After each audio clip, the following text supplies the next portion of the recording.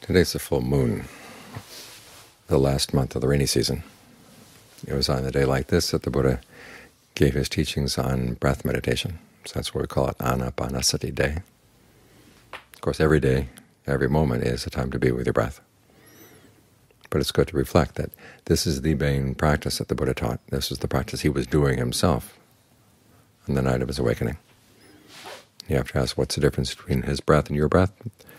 It's not so much in the breath, it's in what you bring to it. You want to bring good qualities of mindfulness, alertness, ardency. Or another place where he talks about being resolute, heedful, and ardent. In other words, you put some effort into really doing this well. It's a simple thing, breathing in, breathing out.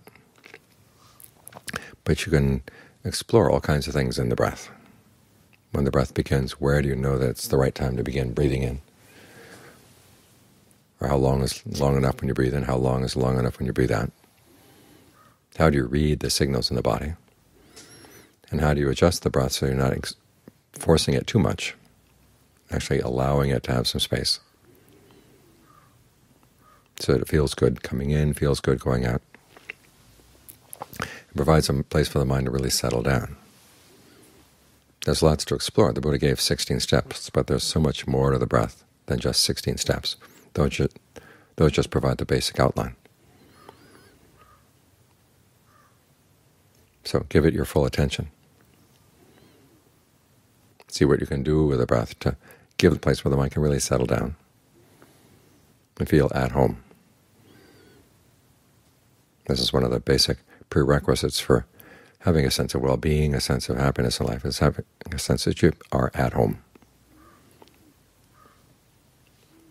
And if you can't place, find a place outside at home, well, you can create a place inside. And that's the most important part, because that's something you can take with you. When you leave the monastery, you can't take the air, you can't take the, the sense of peace we have right here, but you can take the skills that allow you to find a sense of peace inside and they center around the breath.